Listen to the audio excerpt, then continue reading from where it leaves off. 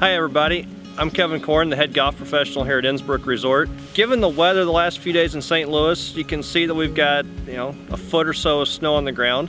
We thought we'd help you out on how to play your best golf in the snow. Why would you want to go to Florida where it's warm when you can stay here and play in this lovely weather?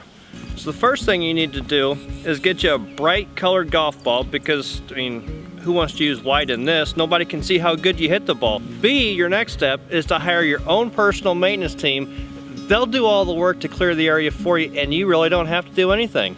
The third step is to make sure you use, just like always in golf, use the fewest number of strokes possible. Grab your driver and do the opposite of what club fitting tells you to where you really want to kind of reduce your, your backspin on the driver. Here you want to maximize it to increase your launch angle because otherwise you're going to be hitting it into the knee-deep snow that you got all around you. All right, so we'll get started here. We're showing you how to best play out of the snow. See, I've, I've got just like out of a bunker. I got good firm balance and, and good base here. And I'm gonna, say, hey, Bill, 10 yards to the left. I'm just gonna swing away. My guys are out there taking care of the landing area and we'll go see what we got.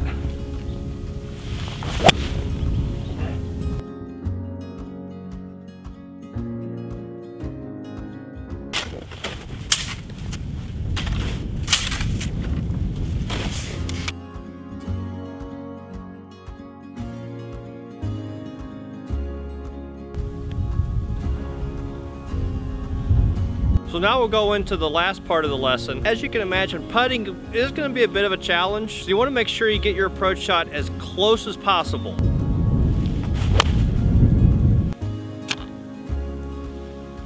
But it looks like that worked out well. All you need to do is get you a bright colored golf ball. Get you two guys that'll work like crazy so you can have a clear spot to hit from. Knock it in the cup, nothing to it. One tip I forgot, the best part about playing in weather like this